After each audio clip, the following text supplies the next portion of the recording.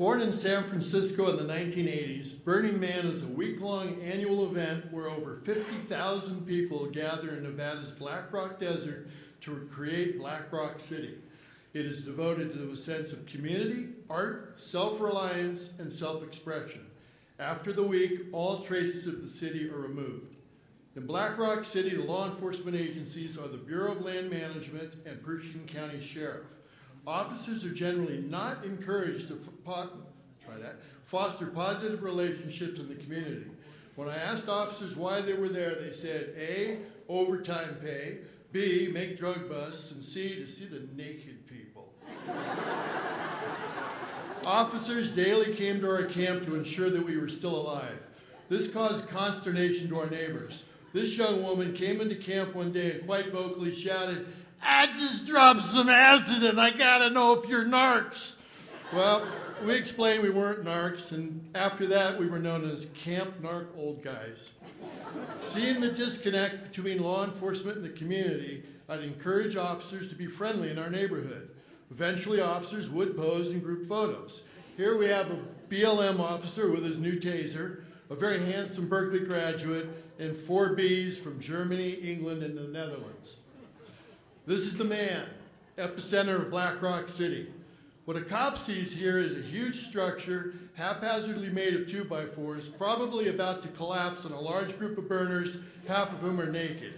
Well, I was only partially correct. The structure was carefully built. It didn't collapse, but people were naked.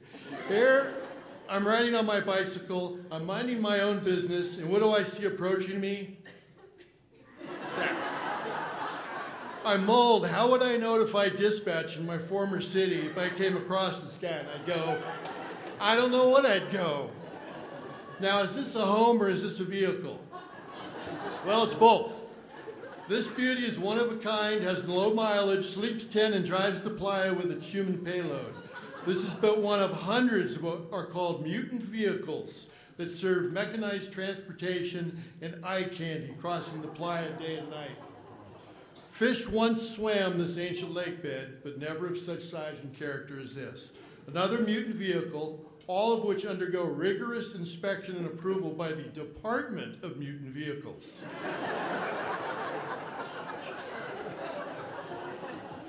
the temple, the spiritual center of the city. As a cop, I appreciated the architecture, but wondered what silliness abounded inside. Frankly, what I discovered is that the temple has a living spirit born, born of the frailty, loss, love, and triumph that is our existence. I'm not ashamed to say I cried many times in there. I didn't cry here. This is the standard daily wear in the city. Creativity, fun, sensuality, and humor are seen in clothing styles. As a former sexual assault unit manager, frankly, I was nervous about how women would be treated. I was relieved to see a community consciousness that allowed people to have a very open time. Okay, performance art is important at Burning Man. So here I am taking a lesson from a burner about a game called Fishing for Hippies.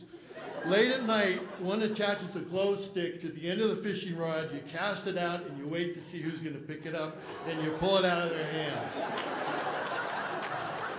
Sculptured beauty makes for magic at Black Rock City. There's a palpable sense of excitement as neon fires, booming music, and hundreds of people howling like coyotes each contribute to a day night transition. To serve and protect. What better way to protect than wrap yourself in yards of bubble wrap? An all season, all weather style that fit well in any evening venue. I found that no woman could resist violating my personal space and popping my bubbles. that is not a metaphor. Nighttime euphoria, wild lights, the ebb and flow of tens of thousands of revelers crammed together on the desert. A recipe for disaster from my perspective as a police officer, yet somehow it all came together despite the virtual intoxication of everybody there very few acts of real world misbehavior occurred. This is the potentate of Kuwait with his security team strolling the promenade. They had such verve and conviction that they had hundreds of people believing that he actually was a potentate. Hundreds of photo flashes popped. We became the focal point in dance clubs and raves, all while we were talking into our imaginary wrist radios. Sunrise on the playa. The music has stopped. Excitement of a night of explosive energies was placed by the exhaustion found in the morning. Bodies and bicycles litter the desert. Somehow, none are run over by mutant vehicles, sleepy cops, or aliens dressed as humans. In Black, Black Rock City, unlike Oakland, there were no police demonstrator battles, just symbolic gestures of defiance. This temporary building of capitalism ultimately burned in glorious flame, giving rise to dancing and fat overtime checks for smiling cops. I found that very ironic. Saturday night, 50,000 of my new best friends gathered to see the new man, see the man burn. As a cop, I too love seeing huge fires when firefighters don't have to be awoken from their sleep. This is a night of party. The surprise again is that with so many people and so many things occurring, that everybody peacefully coexists. This is the man and the temple side by side. The burning temple is the last official act in the play. It is a deeply reverential and moving tribute to civility. Tens of thousands of those same persons who wildly celebrated, the night previously now sit in silent prayer.